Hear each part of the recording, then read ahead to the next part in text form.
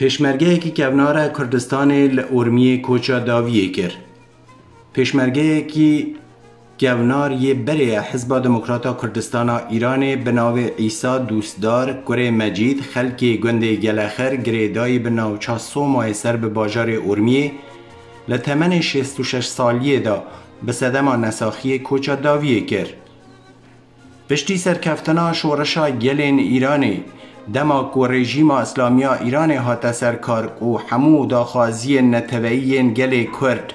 رد کرن و ایرش کرا سر کرد و کردستانی. ایسا دوستدار جی بینانی گلک خورتن جان فدا. ده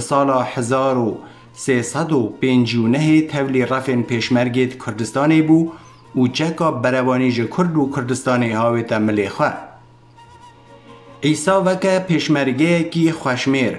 لچندین شر و برخوادانیت گران به دژی رژیم کومارا اسلامی و بتهایبتی شرن بناودنگ و گران بردیان و جتره دا بشداری کرده بو.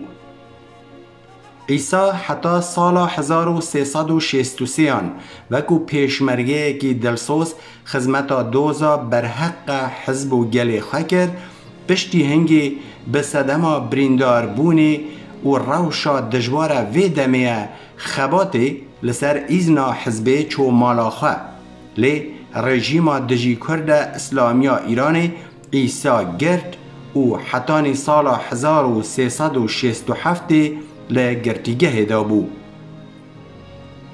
وان بویران نکارین هندی لبکی باورا عیسی لاواز بکن و وی تجاری لهمبر رژیم و داخازین ویده خو نچماند و تسلیم نبو.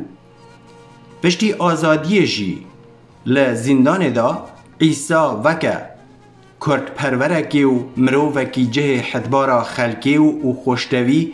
حتی داوی روژا جیانا خواه بسر بلندی جیا ناوندا را گهاندنا حزب دموکراتا کردستان ایرانی توی سرخوشی لجمالبات و کسوکار خودش رازی ایسا دوستدار خواه دخمو نرحت یاواندا شریک و هاو بش دزانه